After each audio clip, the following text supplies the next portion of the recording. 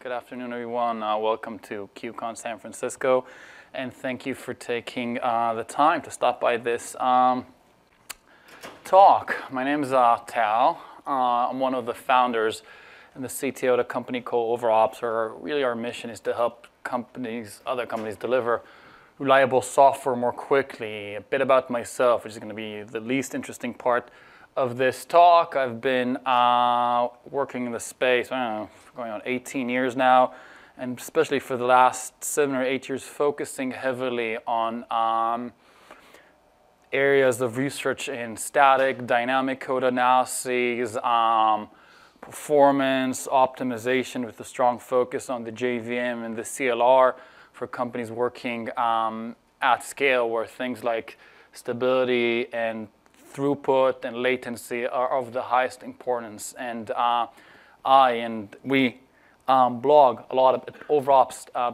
blog at overops.com. We post a lot of research on it. And what I want to do today is really two things, uh, which are kind of the two facets of that. Really talk about some of the, re- share, share, some interesting research with you. Um, the first part is actually kind of a bonus. I'm known for talks that are like better for worse, probably for worse, uh, for talks that are really, really technical in nature. Here I'm actually going to be sharing a lot of some interesting um, information that we've gathered. We've surveyed about, I think like over a thousand, maybe 1,500 developers and DevOps people, but actually the state of continuous reliability. And a research, and we're actually going to be, uh, I think, publishing in a couple of weeks. And it actually has a lot of interesting questions that I think will be interesting for folks in the room to see and kind of compare yourself and see kind of where you are with, with respect to the industry.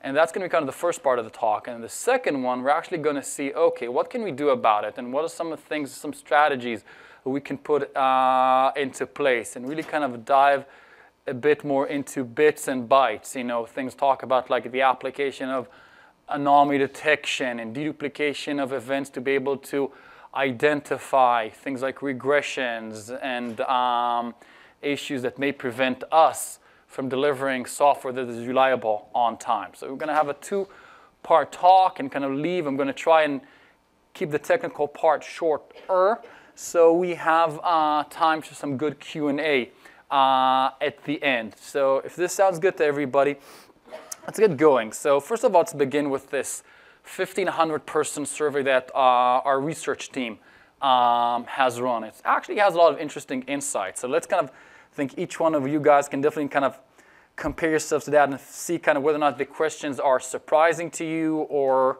they kind of fit right into your wheelhouse. So begin with the state of code reliability. This thing's projecting fine. So first of all, about, you know, 2,000 people or something, it looks like, you know, and most of them, you know, from the US, Canada, and then everywhere, and then everywhere else. So most of them, 60% of the people, developers, then we've got ops, so it's primarily audience, which is, you know, 80% really DevOps, and then kind of less than 10% on the QA side, so really kind of also aligns, I think, with the audience that we have here, I would imagine, and you know, from anywhere to mid-size to large uh, to large companies. The bulk of them coming from large enterprise companies, companies who employ more than a thousand employees. It's kind of you know the majority. So just get the sense of the people who answer this, and let's dive into the questions. You know, if you ask people, well, how do they see their infrastructure? You know, is it modern? Is it legacy? actually see that most people nowadays are running on what they perceive to be modern infrastructure, which is pretty. Um, fascinating, that pretty uh, good to see. Then we asked them, how do you classify your organization adoptions of DevOps? Production visibility, automation. People are kind of, you know, are anywhere between in the journey to consider going it. Really the minority of organizations believe themselves to be like true DevOps. Most people are kind of halfway through this journey, which is interesting because we've been talking about this as an industry for like industry for like a decade or so. Now, Here's the interesting part to me. What tools do you use? And this is interesting because what we see here is kind of a hodgepodge. Everybody essentially uses everything.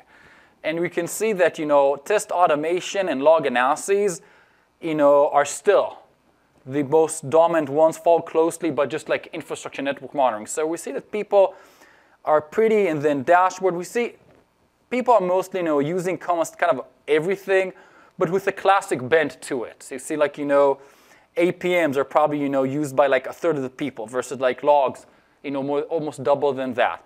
So this is kind of where people are using. So it'd be interesting to see, you know, again, questions like how do you frequently release code? Weekly, monthly. Most people are pretty agile.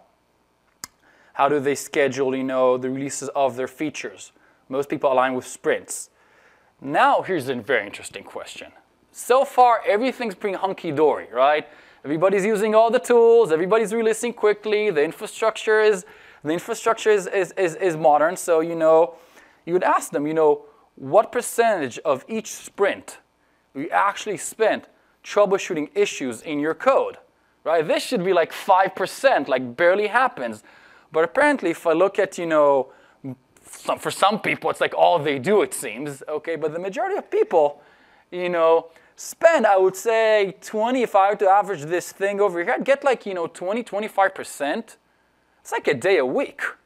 So if you're thinking about, you know, a company that, that essentially um, employs 100 engineers, which is not a lot, or 1,000 engineers, you've got like 20 engineers. That's all they do all the time, right? Essentially just troubleshooting issues in their code. Can imagine essentially so, and the business ramifications of it, are, I'll leave that to the business people, but just in terms of our ability to focus on the work that we want to do and ship code and, and be productive. So this is, this is something that really, you know, I think I can't say took me by surprise because I can live in that sphere. But you can see there's a very, very strong dissonance between, on one hand, the infrastructure, the DevOps, the process, it's all moved forward. But it looks like when you're coming to the actual quality of the code itself, I can't say that this is the result that we want to, this is the results that we want to be um, seeing, nor the work that we want to do. And then when I ask people, who's primarily responsible for you know, overall quality, people say it's really dev and it's really ops and it's both. But it's interesting that nobody says that ops is responsible solely. Right? It's interesting. You can see that developers actually have to take a lot of the accountability and the ownership for this uh, for code. Now, which is the kind of the pillar question: Who do you blame? Apparently, nobody ever blames the ops and the DevOps and the SREs. It really looks like the developer or the entire team that gets, that gets most of the flack. Now, here's another interesting uh, question. How do you characterize the uh, quality of your application? Most people, they say, so it's 50% say it's, most people say it's average, some people say it's low, and some people say that it's awesome. So maybe those are the people who don't have to spend a day a week uh, fixing or troubleshooting uh, their code. But it looks like the most of us uh, mere mortals uh, have to spend our lives working on code bases that are average. Now, here's another interesting question. What is the primary reason errors make it into production in your organization? Why do you trouble, why do you have to troubleshoot issues, right? You know, if something, if I just write code, I put that into like my unit test, my unit test fails, that's usually not gonna take me a tremendous amount of time to figure out what just happened, right? Because I'm dealing with code that I just wrote, state that I control, environment which I fully understand, right? So, and we look here, we're saying we, we see kind of, um, most people say they just don't have the resources, the tooling, the people, the knowledge to do so. Other people are just moving too quickly. Maybe because they want to, a lot of time because they're being pushed by the business. Because we have these sprints, right? The sprint must come. Essentially, the sprint must come out. Every two to three weeks, we got to ship, uh, which is what we said earlier. People ship their code with the sprint. Good or bad, it's going out. Some people say, you know, that um, it's by purpose. They do maybe production ABs. They want to discover errors in production. Could be. And there's also people say, we just don't know who's responsible for all this stuff.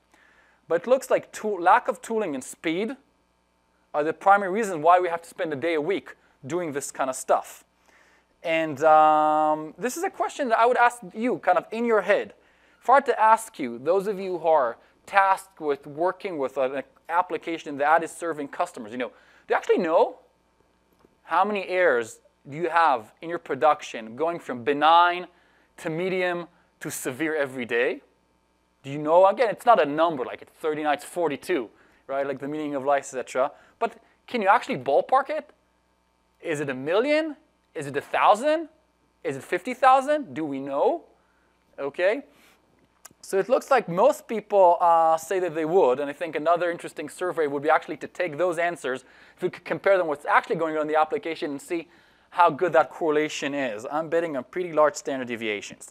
Um, most people actually say, you know, that the, the amount of error, that their, their life is improving, but actually the the other half is saying either staying the same or increasing. So the question is, is decreasing because visibility is not good, or is it because the code of the quality or the quality of the code is improving? Unknown. Which of leads us to the next question. How do you actually know if something is breaking? How do you know if what you have is reliable or not?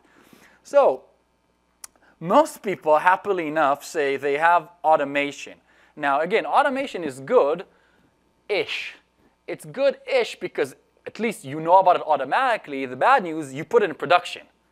So, okay, it's better than 54%, which is still the majority of people. We just say, we just kind of, you know, we, we just kind of drop it and we go like this.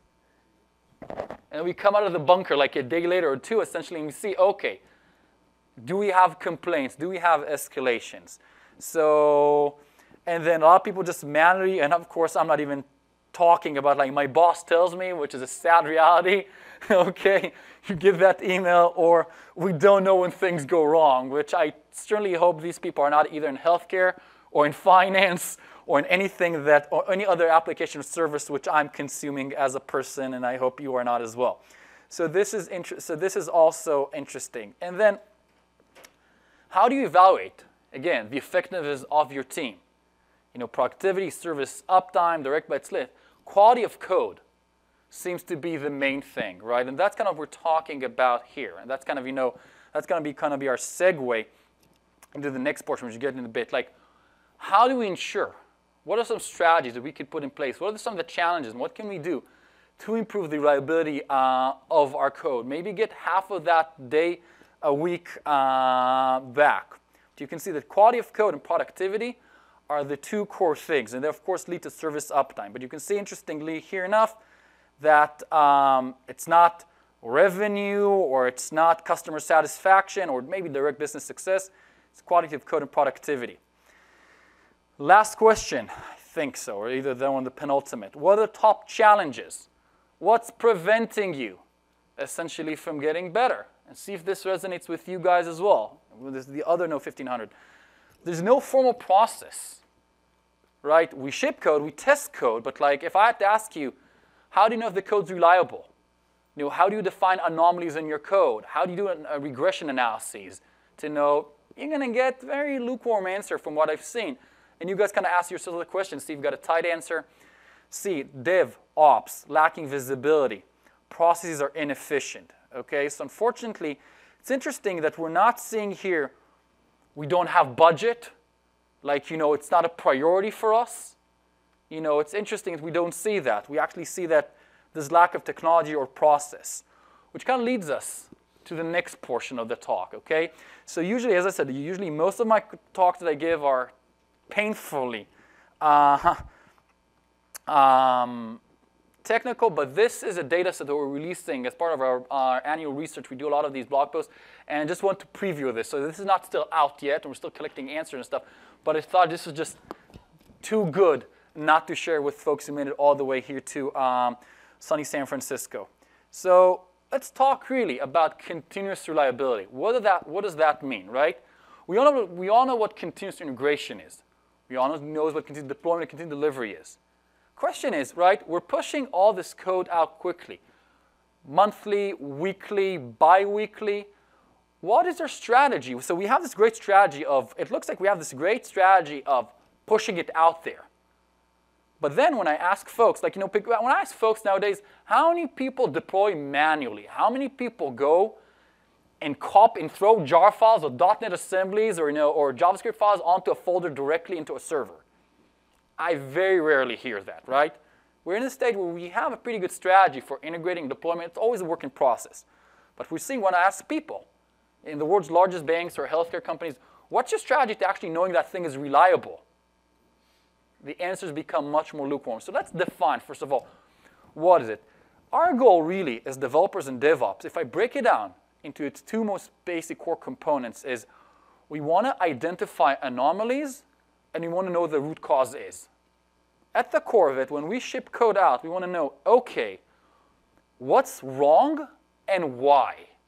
Right? That's, if, if we know this, usually the fixing part is not the most painful part. We all know this, everybody who owns code, right? If you know what the issue is exactly, you're looking, you have a breakpoint, you're looking at the variable, you know exactly the race condition, you know exactly which thread was racing what, which other thread, life is pretty good. Right? The question at that point in time, you refactor, you change, you change something. Challenge is, how do you get there? How do you get to, the, to a process where you know about it and you control your destiny with respect to knowing about it versus your boss telling you, and you're able to reproduce it? So let's first of all define these two things, right? I said, what's no, knowing when something's wrong, like identifying an anomaly and then knowing what's causing it. Usually I've done a bunch of talks on root cause analyses. I'm actually going to talk about anomaly detection this time around in CR. So every talk I give, I usually kind of like to focus on some other part. Root cause analyses is usually, for us as developers and DevOps, we just need to understand what was the code doing, exactly what information it was processing, exactly what was the state of the environment, right? Find I was running on this box, this is what was happening, this is the volume of requests, this is what my code was doing. If I have that, usually I'm ahead of the game, right? So, but the question is then, what is an anomaly? Okay, so I have a Jira ticket, right, you know, that I'm focusing on. So anomaly has been identified. How do you define? Because until we are actually able to define, and we all talk about anomaly detection, machine learning, all that stuff, and until we're actually able to define this and the context of continuous reliability, we can't leverage. We can't say, okay, if it's anomaly, have a promotion gate, have a bulldog angry bulldog preventing that code, that code from progressing forward. Right? We can't really put automation in place to tell us if a code is reliable. So when you look at this, okay, in testing, right, we have test and prod. In test, right, the main vehicle that we use to identify anomalies, right, is whether the test fails. That's awesome because we, the code's not in production, nobody's impacted, we've automated, all good. Challenges are really um, two, A, coverage. If you didn't write the test, or you didn't script this, you know, or your, your, your test automation, your Selenium script, or you didn't write your testing, it's not getting tested. Unless you're relying on actual human, no, human testers, and they're still. If they didn't click it, it's not going to be tested. Second thing, which is even harder, or equally as hard, you're dependent on a fixed state, right? You have to predict, you're the one sending data into your code. It's not real users for the most part, it's fixed. So if somebody else, if, if a publisher, if you're an ad tech company or a customer is punching in something that's incorrect, you won't see that in testing, which leads to production. Which is detection is usually done via two things. Either uh, escalation, right, or impact, which are both, meaning, uh, or alerting, let's say first, let's say, you know, alerting or impact. Alerting means you saw it, okay? Impact means somebody else saw it, right? So we all have metrics. We all look at key health metrics. We see if the amount of inbound requests is below a certain threshold, right? We, we see, we, we have these KPIs that we look at. Now, and the system that we're looking for is a business metric is down, code is slower, somebody's complaining. The challenges are the stories of our lives. When these anomalies take place, right, it's unplanned, we didn't plan for it. It happens on a lazy Thursday afternoon. So it's after the fact, and we're relying on our users, either people work at our company or others, to um, detect those issues for us, right? So that's not very good. We need something, we need a better way to define, identify, and then get to the ability to um, do anomalies. The question becomes that of data, right? When we looked at what most, what's the data, what's the data set that most, the bulk of the people use to analyze and to verify their code, it's usually primarily when talking to organizations, log data, right? The question is, even if I, and this is a question I, go, I ask most, you know, I ask so many firms that we work with, even assuming that all the answers to your questions, okay, whatever those questions are, were in your log files, how would you know them? How would you get to them? How would you know what to search for, right? So we propose, I usually propose this, it's a thought experiment, okay? Three kinds of anomalies to look for, and then we're going to do some code, and we're going to do some technical things, which is, you know, understanding, first of all, when a new issue is introduced. Ask yourself, how good is your ability to know when you actually introduce a new error into your code? How good are you being able to spot that in high-level environments in production, right, without somebody telling you about it or some impact then you having to look for it? Second thing, which is even harder, how do you do regression? How do you actually know that this thing in a previous release used to happen 15%, now it's happening 40%? How can you actually gather the data to tell how many times is this happening and out of, and out of how many calls, right? And the second goes also, not just how many times this, is, this something's happening, a law, an error in your code, a, a timeout, a race condition. How do you use this data to actually figure out if something is slowing down, right? And a key issue that we have is something if things slow down over time. We don't go from like, it used to take a second, now it's taking 20. It decays slowly, release after release in the environment. So the question is, if we define these three as anomalies, right? If these are things that ideally speaking, we would like to have a report after every release that uh, gives us this data. And then we can say, okay, if I have more than X amount of these, I don't promote the code. Or if it's in production, I pull it back. Or at least I know what to fix. Right? The challenges in doing that, what's preventing uh, us from doing that is threefold. First of all, how do we deduplicate the data? If I give you guys right now all your system's log files from the last month, and let's say you have 50 million or 100 million lines in that, how do we actually turn that into something you can run any form of regression analysis on? Versus just you know you reading it and tagging it manually. How do you actually take that data, right? Or you maybe you can write 200 different like search queries through it. But assuming that you're like most of us, how do you do that? And let me even say, okay, even if I took 100 million lines of log files and tell you, you know what? There's actually 100 issues that's causing this, okay? Like you actually have 100 issues in your code that's, that's bringing out these 100 million events. How do you classify them, right? How do you know which one's new, which one you know, how's it handled by the code? It's error or warning, maybe. You know, if it's an error and exception, is it, how's it being handled, right? Is it a slowdown? Is it important? When was it introduced? Right? We lack that data to actually being able to have, you know, we lack those capabilities all the time. And the last thing, all right, I give you that data set. Okay, you get a report with a thousand issues, and I've punched in all the numbers. How do you then know to apply thresholds that are not noisy? Meaning, you're not just saying, okay, I can ask you somebody, look, how many socket, how many network errors do you have in your system every day? Let's look at the log files. You know, I don't know. Yesterday we had 10,000. Today we have 11,000. Tomorrow we have 9,000. Good, bad, regression, right? It's never about just the number of or timeouts. Forget that, you know, this thing is timing out 500 times a day. Good, bad.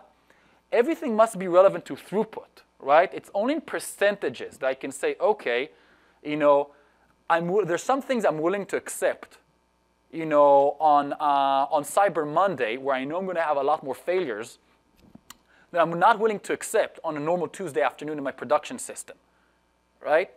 Which also leads to the question of seasonality. What is allowed when? So this, this is a tall task, right? How do we take the data in our systems?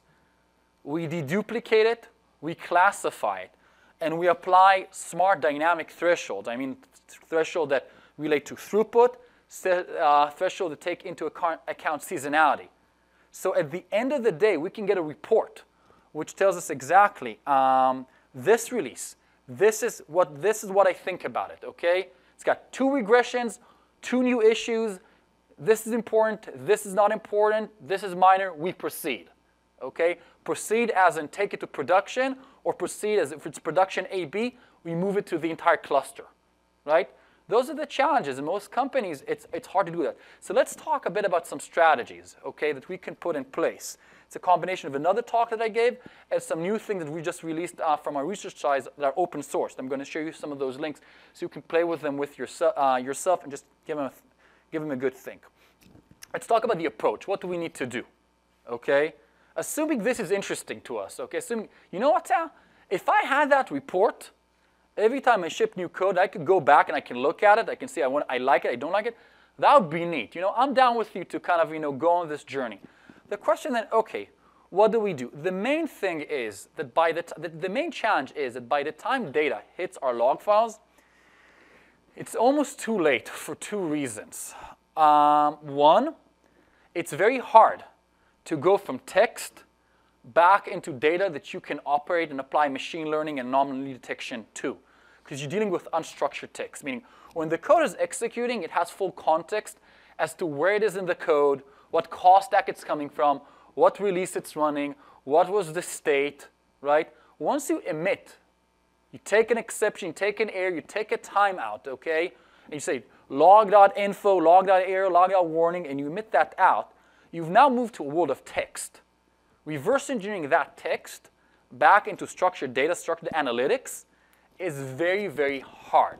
So ideally speaking, we want to be there in real time so we can kind of be control our own data. Or at minimum, we want to enrich our logs with data that enables us to then go back and convert that back into analytics.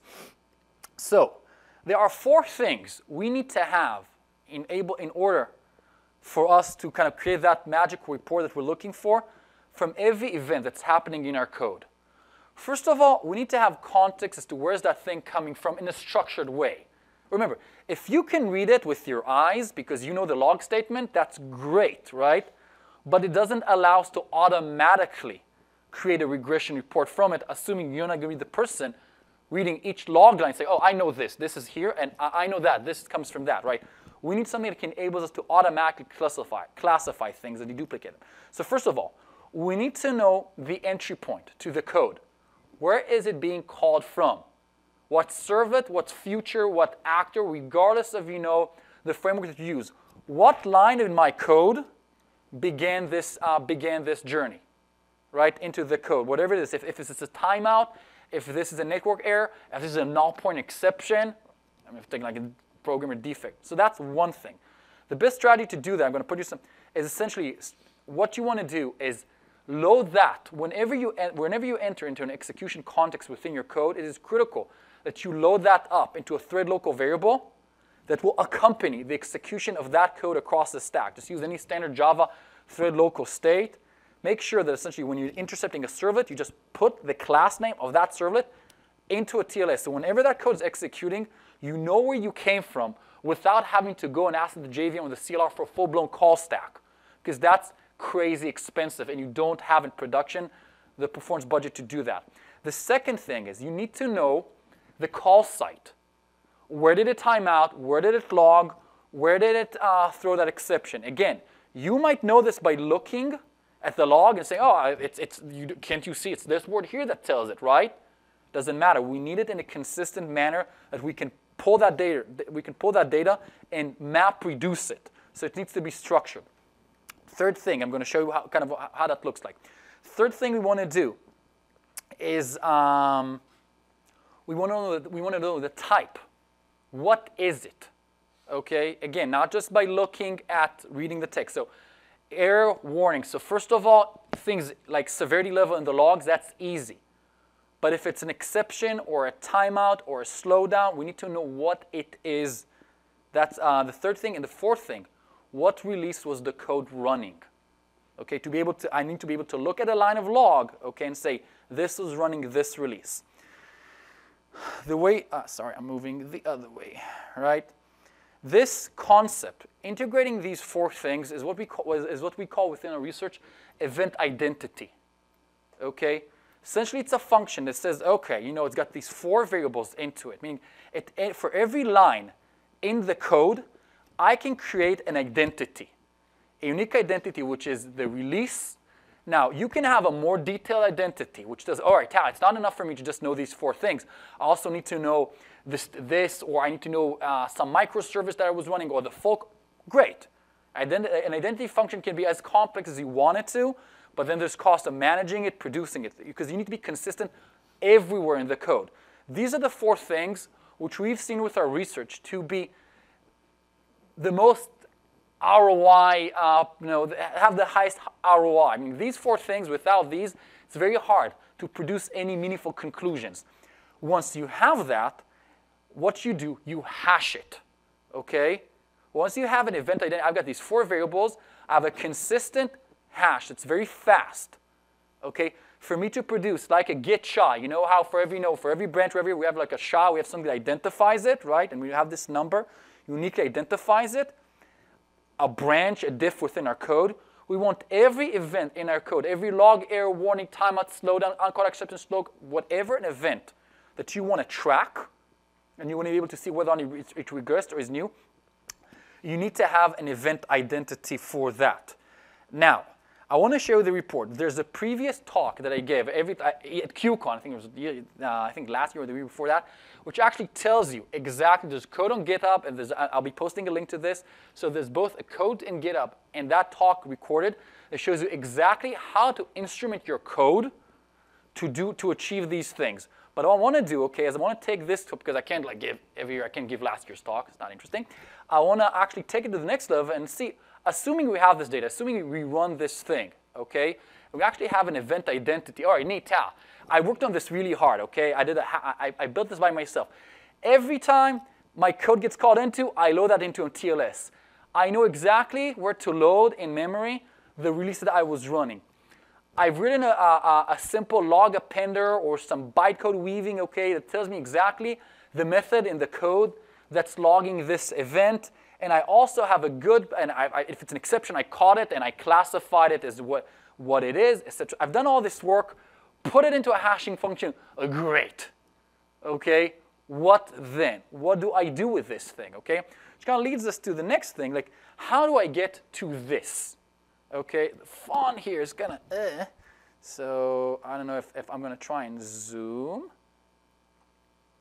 and see what it does. No, Chrome doesn't like to zoom. All right, I don't know. So essentially, it's, it's the ability to see after every release, right, how many issues, when was this release first seen, how many issues were introduced, which ones are new, and if it's a regression. Tell me exactly, you know, um, how many times it's happened out of how many calls into the code, and what is the, and, and what is the delta. So what we've done, okay, we published a set of algorithms that can be consumed uh, through open source and even through a Jenkins plugin. It's open source research that you can actually consume, and the links will be uh, at the bottom. Okay, but I want to show some of them now. So all the links are here for both the code, okay, for both the code and the regression analyses, right? So take a look at them, but let, let's see this kind of, let's use kind of our last, you know, our remaining minutes here um, to actually do some uh, live work together. So I've packaged this code as um, a, an open source Jenkins plugin, right? And essentially what this plugin gets, receives, is kind of this, these are the parameters. This is one of the things that I've, we've looked at through our research is how do we create an algorithm which has really the two, the three key, prior, three key kind of metrics or values to it.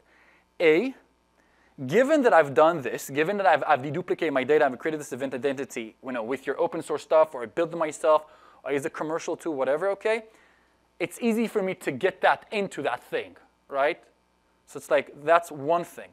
The second, okay, uh, is that it's, um, so the second thing is that it's easy for me to tweak it, control it, right? On one hand, so you don't have to give me like 500 switches. Yeah, you can apply um, some crazy Stanford-like machine learning algorithms to it, but like how many people in the company will actually know how to use this? The third thing, it needs to be non-noisy. Meaning it needs to be really, really good, really, really deterministic at what it looks, what it looks at as a regression. So these are, this is a baseline. Okay? This is all open, so you can fork it, you can play with it. But this is a suggestion. We've had a lot of success with this with customers, okay? Uh, and that's why we open sourced it, which is for specific deployment, okay? Let's compare that to a baseline. One of the core tenets of every form of machine learning that you have is comparing something to something, right? When we look at AI, when we look at like you know, self-driving cars, all these things, it's about creating some form of baseline data the system learns from, and then it can apply. Then you can create some conclusions about you know a specific thing that it's looking at. So you got to have a baseline. So you look at a month. What you do essentially, you, you, essentially, you can look at the month, and then you say something like this. If an event, if the first time I've seen the, this event, if this event was introduced in this release, I mean the first time, what do I do?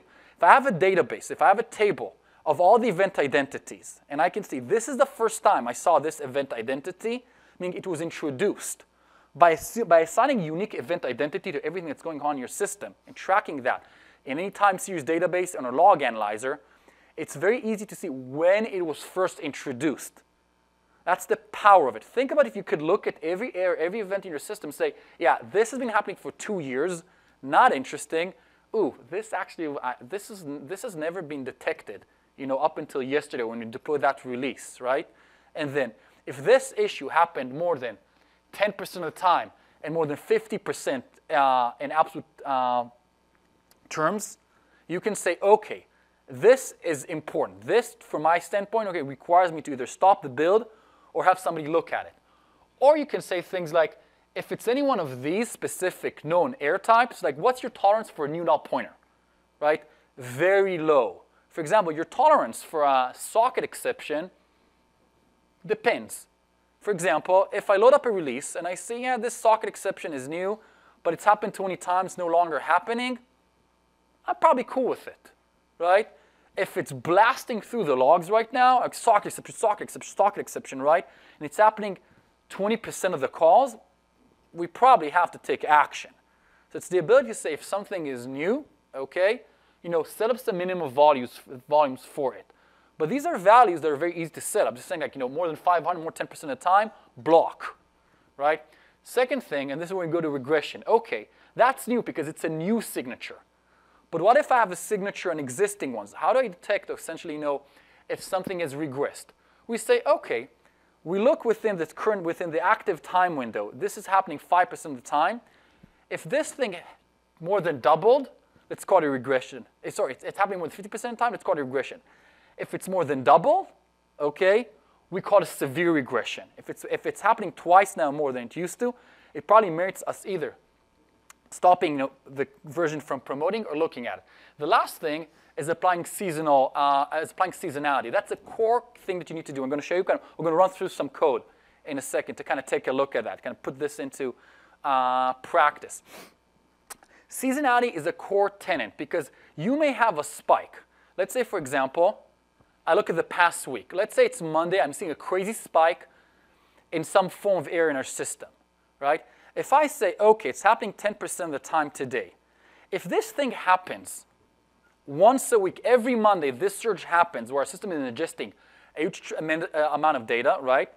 If I just say, okay, it happens a thousand times today out of a million calls, okay, or out of a 100,000 calls, it's 1%, or whatever, whatever the statistic is. If I just look back and compare that rate to last week, last week, well, it was seven days, it happened once, it spiked once during that time. But if I look at the overall time period, right, I, divide, I have to divide by seven days. So it's on the relative rate, if it's happening 7, 10% of the time today, last week it happened, you know, 10 divided by 7, 1.3% of the time, right? You guys follow me? If I just say there's a time window it only happens on Mondays, and then it blasts. If I just compare that to the overall throughput of last week as a whole, I'm going to balance, I'm going to smear that peanut butter equally. It's going to look like a crazy regression, right? But it's noise. So seasonality is the concept every algorithm you have must take into account that you look, you must compare each time window so you take Monday and you take time window versus time window versus time window. And then you can say, if I saw a time window last week that had a similar spike, or two spikes that have 50% volume, or three spikes that have, let's say, 33% volume, then one can say, okay, then in this case, indeed, it's a seasonal thing, right? And the nice thing about it, the longer your baseline is, the more likely you are to uh, detect uh, to detect things. Think about think about something that only happens on tax day or happens quarterly, right? if you have a baseline of a year how the system runs, you're almost, I don't know, you're, you're, uh, you're, you're how, I don't want to say you're strong as I don't want to say you're as powerful as God Almighty when it comes to continuous reliability, but you have a really, really good baseline to work with. So this algorithm here, okay, is something that's released. All the API specification of like the kind of data that's supposed to be, now this is like, this is by the way what a deduplication an event ID looks like. You know, this is just the type, when was first in introduced by, that event ID. So the, the algorithm says you've, uh, you've deduplicated the data, okay, based on the other open source code in the other talk that's linked to here. Okay, you have this REST data coming in, and for each one of those, I can pull in a set of points. Wait, what you've done, and how do you obtain those points? You either instrument your code, the code is in that other GitHub project, to every, every event identity, send that as a metric out, or just write it into your Splunk. Every time you log an error message, if you have that function that creates that, that event identity in real time, log it, right? Just say ID, event ID, EID equals that value. Then it's really easy to pull that with a Splunk or Elasticsearch query and get that report.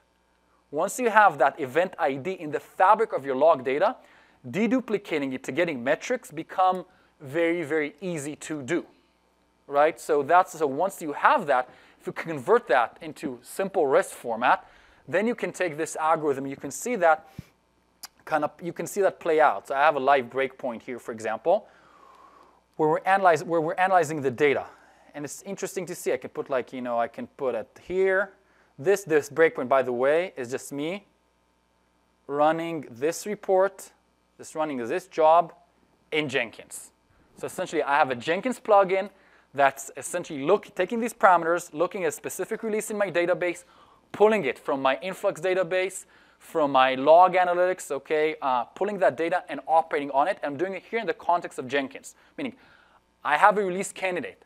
We've run four hours of tests on that, okay? Before we ahead, before we go ahead and move that up to production, I want to be able to get that report, and if I see anything I consider severe, mark the build as unstable. I want to have a proactive gate that automatically prevents something from moving upwards. It doesn't even have to go into production. Maybe I don't even go, I don't want it going to UAT, right? I don't want to spend, I don't want to send something that's broken for tests by our internal users.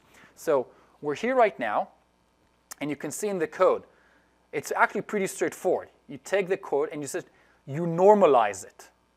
So you see every event, you normalize volume, versus you know, how many times it, it, it gets called into it.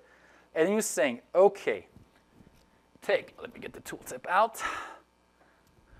What's the rated percentage between the baseline time, like this happened, you know, this is this used to happen, you know, um, you know, this is the this is the ratio. Where's my breakpoint? Boink. Okay, so if I step here, don't, don't, don't, let's load up variables, right? For this specific event, you know, this specific log warning in redistribution map, right? Because the nice thing is once I have that event ID, I also save it, right? I have a database with all my event IDs, so I can go back. So I can say, okay, this event ID is a log warning in the Redis redistribution map, get all present, right? This is a cache thing, right? This is Redis. Like, um, I need to know that this, that our calls into our cache have not significantly um, regressed. So I can do, I can essentially come here, I can see, I can kind of, and I'm checking the delta, like how often did it happen previously, you know, and then what I do here, okay, you can see this code, it's not deeming it as a regression, and I'll tell you why. Because this thing here, okay, the delta between them, it's reducing any delta in the throughput. Let me explain what that means, okay? It means it doesn't, even if something happens more than 10 times, okay, uh, then 10, you know, this is happening 50% more, I, all, I, dist- I, I, I, I um, subtract from that any changes in volume. Meaning, if the code, let me ask you this. If something used to fail, you know, a thousand times out of 2,000 calls, and now it's failing 2,000 times out of 4,000 calls because we've increased the load, we've increased the volume. Is that a regression? No, because essentially it's still happening 50% of the time. So actually, by reducing that, you clear a lot of the noise. And then let's wait for something that is, you know, uh, does pass that test. If I run this here, The second thing that you do, I'm going to reduce the, get this breakpoint uh, here. This actually did pass that test. But then you can see that the algorithm, what does it calculate seasonality, right? And what it does, I'm not going to, we don't have time to step in because essentially if it sees any volume, see, it didn't see any, it, it, didn't see any, any instance where the seasonality result said, you know, there's more, there's a period, there's a similar period or larger. We found more than one or two periods. So remember Monday, you know, let's say we spiked on, let's say we spiked on Monday, okay? Are we seeing in the baseline any previous Mondays where we saw this spike or any additional time periods where we saw at least 50% of that volume, okay? Uh, again, I'm just throwing all these concepts at you, but this all this code is open source, and just I want to kind of you know give you a taste of that. I don't expect anyone to go in right now and you know uh, debug this with me. At that point in time, you say that it's a regression. The output of this, and this is what's neat, you get this. If I, if I let this thing run, you can actually see in this, we know 25 new issues, three severe regressions in V4.25, first thing a month ago, against a baseline of one month, right? So I can actually run this code in Jenkins, and I can see, okay, here are all the issues that are new that were introduced by this release. Why?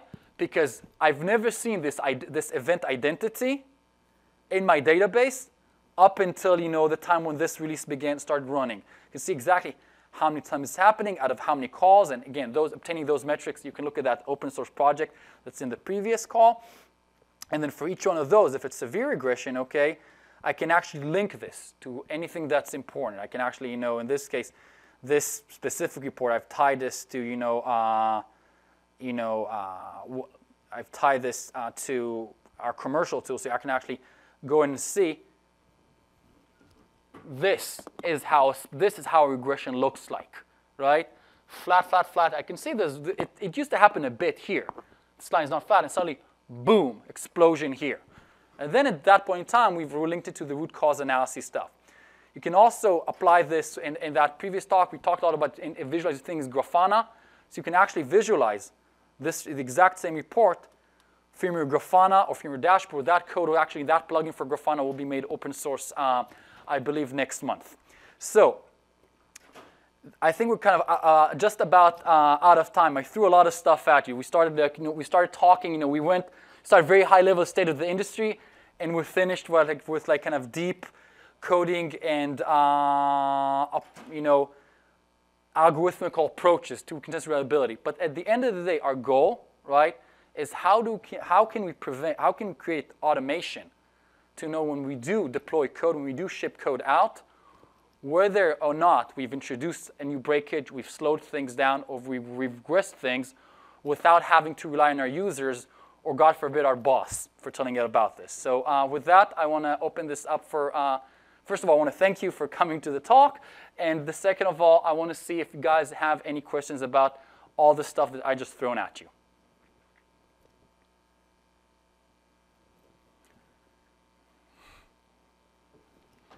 I'm gonna, I, am perfectly happy to give everybody their afternoon back. We have two more minutes, so any questions around anything? If not, I'll go once, twice, and thrice and give everybody back uh, their afternoon in San Francisco. Questions for anyone, please, sir. So you were talking about calculating the hash, included the version in it. Yeah. So how can you match a hash before the version? No, true. So what you say, no, no, so you, you, you're true. The hash should actually, the hash itself should actually be out, you're right, and actually you're absolutely right. The hash itself should be outside of that form. It should be metadata for that specific identity. So the identity should know, should be aware uh, of the hash from which when it came, but it should not be incorporated into the hash. 100% uh, correct. Um, yes?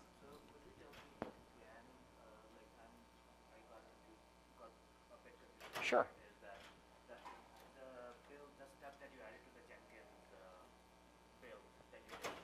Sure. So the events essentially are collected as you add it to your code. The ability, if you instrument, you injected event IDs into your code, or you fire them to your time series database, you've essentially you've created a database, a data set. What Jenkins does, it activates an algorithm which pulls them. It, it makes a call into a REST endpoint. We've built a REST endpoint that knows how to pull that from Influx, Grafana, some commercial tools as well. Um, and essentially uh, at that point you're analyzing it. So the, the Jenkins essentially just analyzes before the code is about to go live, it gives it a score.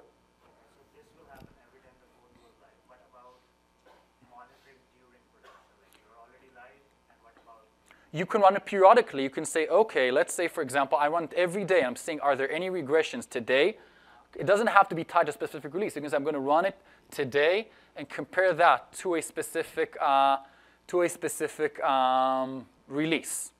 So you can have, you don't have to do it just in the, in the cause of a specific deployment, which really brings us to that gentleman's fine point over there, but not including the hash. Is that clear? Any other que- last question before essentially that lady here hits me in the head with the stop sign?